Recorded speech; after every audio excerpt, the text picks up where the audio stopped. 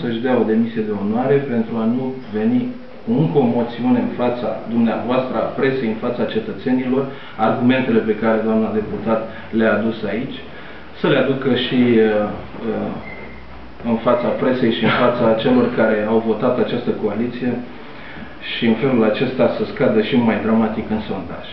Pentru că toate promisiunile pe care le-am făcut se vor deconta acum cu ocazia acestor alegeri. Vom vedea.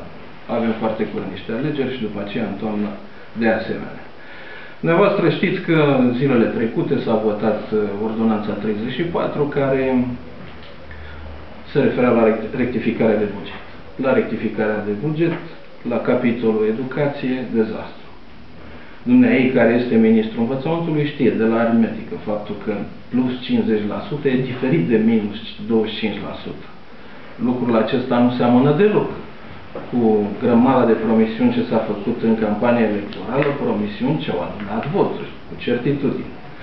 PNL-ul la acest proiect de lege care venea să susțină ordonanța 34 a avut 51 de amendamente susținute și nu erau toate amendamente care să solicite bani și să indice sursa de finanțare. De exemplu, am avut un amendament uh, al comisiei, uh, în cadrul Comisiei de Apărare l-am făcut și v-am mai vorbit dumneavoastră despre el, pe